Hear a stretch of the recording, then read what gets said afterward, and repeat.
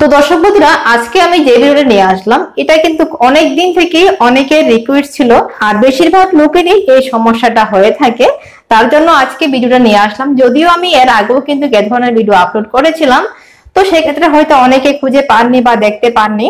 তো সেজন্য আজকে আবার ভিডিওটা নিয়ে আসলাম। আর সেটা হলো, ব্লাউজের শোল্ডার কেন পড়ে যায়? তো কাটিং এবং সেলাই করার সময় আমাদের ঠিক কি কি জিনিসটা লক্ষ্য রাখলে ব্লাউজের শোল্ডার পরার সম্ভাবনা খুবই কম থাকবে। তো সেটাই কিন্তু আমি এখানে বোঝানোর চেষ্টা করব। তো দেখুন কাটিং করার সময় প্রথমত আপনাকে যে জিনিসটা লক্ষ্য রাখতে হবে, আপনি যখন গলার চওড়া এখানে নেবেন ডিপ নেকের ক্ষেত্রে, সেক্ষেত্রে গলার চওড়া আপনি টু ইঞ্চ নেবেন, এর থেকে বেশি নেবেন না। যদি পেছনে আপনি ডুরি করতে না চান, আর যদি পেছনে ডুরি করেন, সেক্ষেত্রে আপনি আড়াই ইঞ্চ নিতে পারেন। তাছাড়া টু ইঞ্চ রেখেও কিন্তু আপনি চাইলে অনেক ছড়ানো ব্লাউজ করতে পারেন। উপরের দিকে আপনি টু ইঞ্চ রেখে দিন, আর নিচের দিকে অনেকটা আপনি ছড়িয়ে দিতে পারেন। আর ব্লাউজটা পরার পর দেখতে কিন্তু মোটেও উপরের দিকে ছোটা মনে হবে না, কারণ ব্লাউজটা পরার পরে কিন্তু ছড়িয়ে যায়। তার জন্য উপরের দিকে ছোট হলে আপনার কোনো চিন্তার কারণ নেই, নিচের দিকে ছড়ানো থাকলেই হবে। তো প্রথমত একটা কারণ এখানে বেরিয়ে আসলো। তো দ্বিতীয়ত আপনাকে আরেকটা জিনিস করতে হবে এই দিক থেকে গলার দিক থেকে এক সুতা বা দেড় সুতা আপনি এইভাবে ডাউন করে দেবেন কাটিং করার সময়। আর যদি কাটিং করার সময় আপনি কাটতে ভুলে যান, তাহলে সেলাই করার সময় এই জায়গাতে একটুখানি নিচের দিকে আপনি সেলাইটা করে দেবেন তাহলে দেখবেন একদম কাজের সাথে মিলে থাকবে ব্লাউজটা তো এটা হলো নর্মাল কারণ, এটা কিন্তু খুব সহজে ঠিক করা যায়। তো এরপর দেখুন আরেকটা জিনিস, বগলটা। ব্লাউজের দেখুন সাইজ অনুসারে যখন বগলটা ছোট হয় সেক্ষেত্রেও কিন্তু আপনার ব্লাউজের শোল্ডার নিচের দিকে পড়তে থাকবে। কারণ বগলটা ছোট হলে বগলের দিক থেকে টাইট হবে। আর টাইট যখন হবে, তখন হাতাটা নিচের দিকে টানবে। হাতার সাথে সাথে আপনার ব্লাউজের শোল্ডারও কিন্তু নিচের দিকে টানতে থাকবে। এটাও কিন্তু ব্লাউজের আরেকটা অনেক বড় কারণ শোল্ডার পরে যাওয়ার। তো আরেকটা বড় কারণ যেটা, সেটা আমি দেখিয়ে দিচ্ছি, দেখুন। তো আমি এখানে ফর্টি এইট সাইজের একটা ব্লাউজ নিয়েছি। তো যাদের বিগ সাইজ তাদের এই সমস্যাটা আরও বেশি হয়ে থাকে। তো দেখুন, এখানে যে আমি ফিটিংস পয়েন্টটা দিয়েছি, আপনাদেরকে বোঝানোর জন্য আমি এখানে চক দিয়ে দাগ দিয়ে দিয়েছি। তো দেখুন, এখানে দেখুন, দাগটা একদম সোজা। যখন আমি একটু এভাবে ধরছি, তখন কিন্তু একদম সোজা। আর ছেড়ে দিলে হালকা একটু বেকানো মনে হবে। কিন্তু আপনি এভাবে চেক করবেন, একদম সোজা আছে। তো এখানে অনেকে যে ভুলটা করে থাকেন ফিটিংসটা করার সময়, এই জায়গাটা ঠিকঠাক রাখছেন। এরপরে কি করছেন এদিক থেকে? ঠিক এইভাবে আনছেন।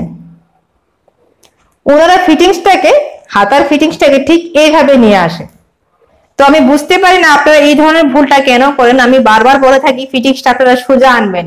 যদি কোনো কারণবশত হালকা একটু লুজ থাকে, তাহলে নর্মাল আপনি একটুখানি এইভাবে বেঁকিয়ে আনতে পারেন। কোনো অসুবিধে হবে না এইভাবে। কিন্তু এই জায়গাতে কিছুতেই আপনি এইভাবে ভেতরের দিক থেকে দেবেন না। যখনই আপনি এইভাবে ফিটিংসটা দেবেন, তখন আপনার বগলটা ছোট হবে।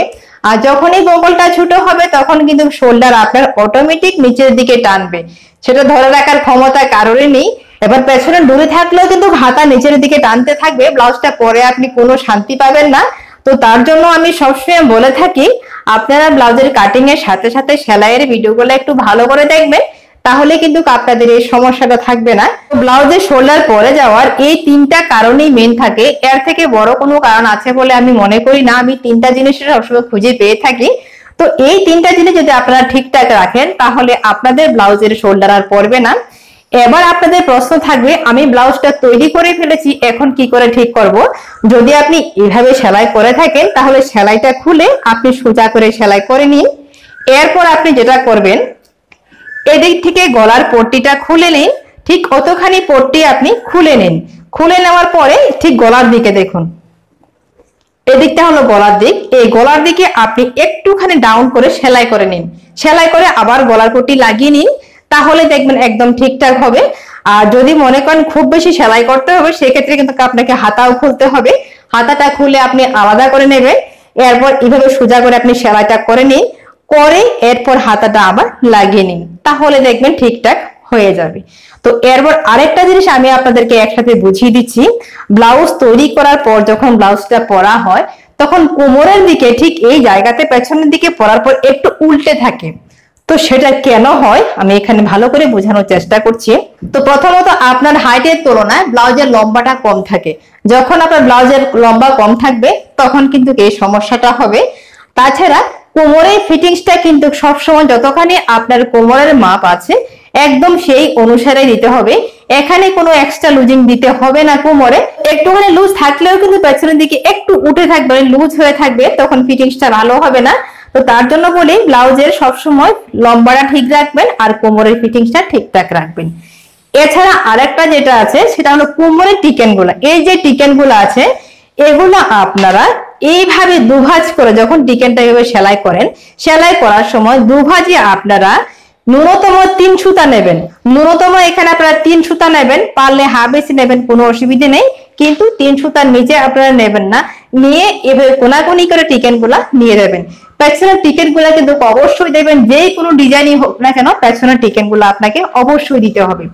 তো এবার তো এবার প্রশ্ন থাকবে আমি ব্লাউজটা তৈরি করে ফেলেছি।